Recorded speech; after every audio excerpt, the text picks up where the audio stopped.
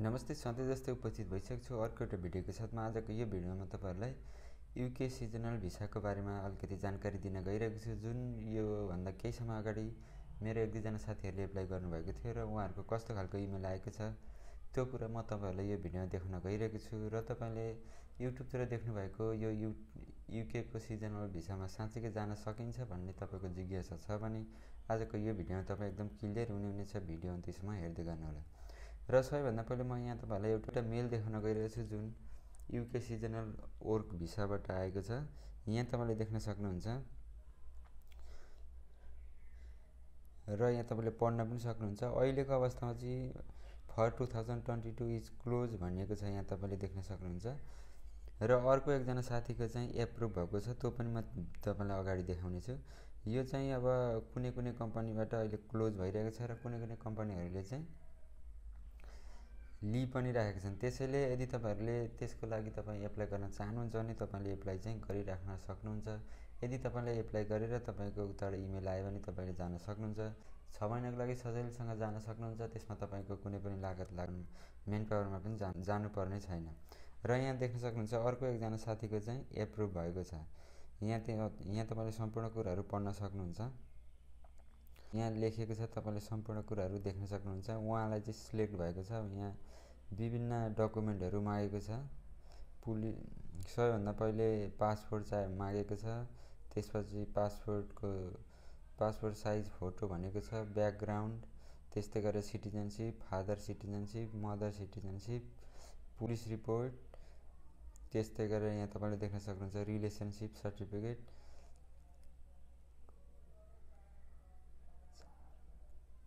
त्यस्तै गरेर अर्को यहाँ क्यारेक्टर सर्टिफिकेट हो त्यस्तो कुराहरू यहाँ मागेर कन्ट्याक्ट गर्नु भनेको छ। अब एकजना साथीको चाहिँ रिजेक्ट भएको छ। त्यसैले यदि तपाईँहरू पनि यसको बारेमा अलिकति तपाईँलाई जानकारी छ तपाईँ पनि एप्लाई गर्ने सोच बनाउनु भएको छ भने तपाईँले पनि एप्लाई गर्न सक्नुहुन्छ।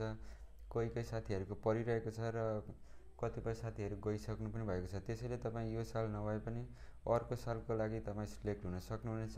एप्लाई गर्नुहोला। यदि तपाईँलाई एप्लाई कसरी गर्ने भन्ने कुरा तपाईँले थाहा छैन भने मैले अगाडि भिडियो बनाएर अपलोड गरेको छु। त्यहाँ गएर तपाईँले सम्पूर्ण कुराहरू हेर्न सक्नुहुन्छ।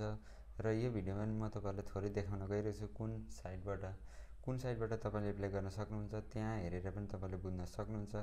र साथै यो एकदमै राम्रो मौका रहेको छ धेरै साथीहरू गइसक्नु भएको छ। मैले अगाडि एउटा भिडियोमा उहाँ युके पुगिसक्नु भएको साथीसँग कुरा गरेर पनि एउटा भिडियो बनाएर अपलोड गरेको थिएँ। त्यो भिडियो पनि तपाईँले हेर्न चाहनुहुन्छ भने मेरो च्यानलमा छ त्यहाँ गएर तपाईँले अझै डिटेल्समा बुझ्न सक्नुहुन्छ। र त्यस्तै गरेर यदि तपाईँहरू सिजनल भिसाको लागि युके जान चाहनुहुन्छ भने तपाईँले कुनै पनि मेन पावरमा पैसा तिरिराख्नु पर्दैन। तपाईँले आफ्नै मोबाइलबाट आफ्नै कम्प्युटरबाट अनलाइनबाट एप्लाई गरेर जान सक्नुहुन्छ। त्यसको लागि बस तपाईँलाई एउटा सिबी भन्ने लेटर बनाउनु पर्ने हुन्छ। त्यो लेटर कसरी बनाउने भन्ने कुरा तपाईँलाई थाहा छैन भने मैले भिडियो बनाइसकेको छु। त्यो भिडियो तपाईँले हेरेर पनि बनाउन सक्नुहुन्छ। त्यति बनाइदिइसकेपछि तपाईँले अनलाइन आवेदन दिनुपर्ने हुन्छ। अनलाइन आवेदन दिएर तपाईँले यस्तो खालको इमेल आयो भने तपाईँ सिलेक्ट हुनुहुन्छ र त्यहाँभन्दा अगाडिको प्रोसेसहरू तपाईँले सुरु गर्नुपर्ने हुन्छ। अगाडिको प्रोसेसहरू पनि त्यस्तो साह्रो झन्झटिलो केही छैन तपाईँले सजिलैसँग गर्न सक्नुहुन्छ। र यदि तपाईँलाई उताबाट सिलेक्ट गर्यो भने तपाईँको दुई लाखदेखि दुई लाख पचास हजारसम्म पैसा खर्च हुन्छ।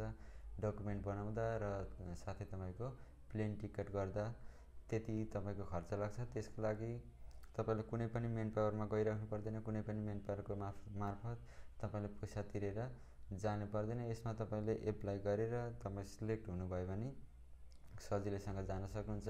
सिलेक्ट भइसकेपछि तपाईँले पुलिस रिपोर्ट बनाउनु पर्ने हुन्छ र पुलिस रिपोर्ट बनाइसकेपछि तपाईँले युकेको एमबिसीमा डकुमेन्टहरू पठाउनु पर्ने हुन्छ। त्यसरी तपाईँले सजिलैसँग एप्लाई गर्न सक्नुहुन्छ।